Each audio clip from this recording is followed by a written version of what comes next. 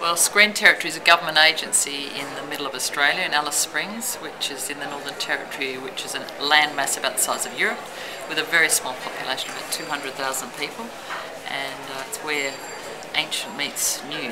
It's a wild frontier in a sense because there are a lot of Aboriginal Australians. 30% of the population is Aboriginal Australian, and uh, the other percentage is non-Aboriginal Australian, and we've got some great stories there. So that's why Screen Territory is in Alice Springs probably rather than Darwin, which is the capital of the Northern Territory. And uh, we're making lots of good stories. So you say you've got great stories. You, are you involved in investing in their development or funding production? What do you do? We do everything, but with us, we've got a fairly small pool of money, but we um, get involved with people at this seed, a kernel of an idea and help them develop it. We can give them some money or some advice and help them develop it up. We can put a small amount of money in and introduce them to other people that might have more money, for example, federal agencies, broadcasters and so on.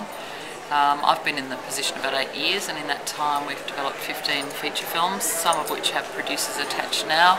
We've also done a lot of factual development. I developed a program called Realisator, which um, was about real programming, factual programming, and we got broadcasters up to the Northern Territory as well as experienced producers, and out of that we've had a number of programs made. And do you have two pots, one for Indigenous and one for non-Indigenous? No, no. We, uh, it's all, all the same as far as we're concerned, although because of um, opportunities for Indigenous Australians currently in Australia, we do um, some initiatives that are targeted initiative uh, at Aboriginal Australians. For example, Yarning Up, which is a series of short micro docs that were done for ABC television with people from remote communities that speak language and are close to their cultures, and that was quite a unique model of making programs for Australia because many more urban Aboriginal people have become program makers rather than people that live in remote communities.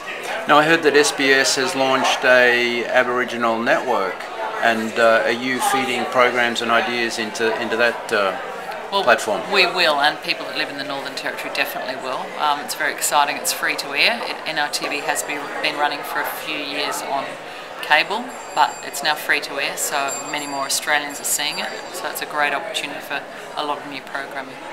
And what do you think are the big next steps for you? What are you looking forward to?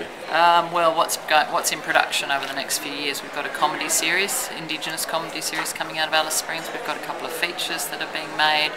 Um, we've got lots of documentaries in development, so just more more different things. And actually, I went and um, to the presentation from CCTV in China, and I'd like to see more Territorians working with China. Good. We've got some great stories that could connect with China. Oh, thank you so much, Penelope. It's a fascinating story.